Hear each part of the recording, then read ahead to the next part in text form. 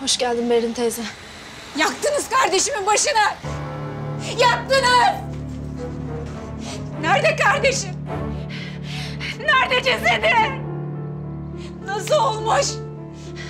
Nasıl kıymış dağ gibi kardeşime? Allah kahretsin onu. Allah bin türlü belasını versin.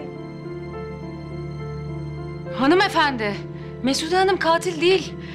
Kardeşinizin ölüp ölmediği de kesin değil ayrıca. Lütfen sakin olur musunuz? Abla?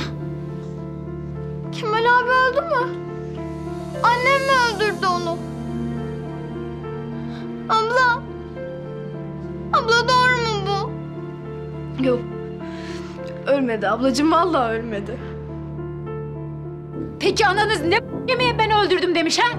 Hangi çukura attı onu? Nereleri sakladı ha? Hanımefendi. Çocukların yanında böyle konuşmayalım isterseniz. Kardeşinizin öldüğüne dair polisin elinde bir kanıt yok zaten.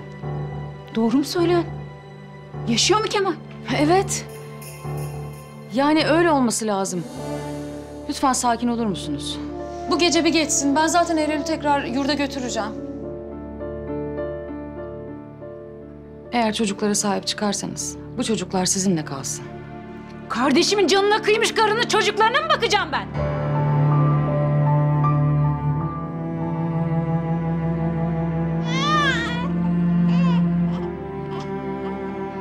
Yalnız bebeği alırım.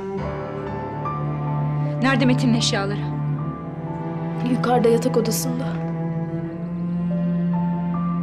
Ben ne olacağım?